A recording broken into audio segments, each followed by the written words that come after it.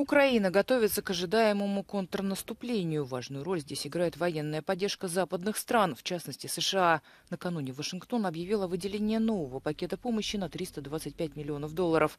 Ранее стало известно, что в Украину прибыли системы ПВО «Патриот». Президент Владимир Зеленский осмотрел пограничный узел Украина-Польша-Беларусь, где устанавливаются укрепления, барьеры и системы дистанционного видеонаблюдения. Этот шаг может свидетельствовать о готовности Украины отразить возможное нападение со стороны соседней страны Беларуси, главного союзника России.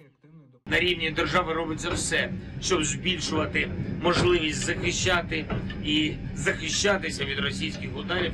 Системи ППО та інша зброя для захисту неба вже зараз у нас в Україні дуже серйозні, але мають бути і впевнений будуть ще потужніші. В преддверии июльского саммита НАТО министр обороны США Остин Ллойд, находясь с визитом в Швеции, призвал Турцию и Венгрию ратифицировать заявку Стокгольма на вступление в Альянс. При этом Ллойд отказался сказать, станет ли недавняя сделка США по модернизации истребителей для Турции достаточным стимулом для того, чтобы переубедить Анкару.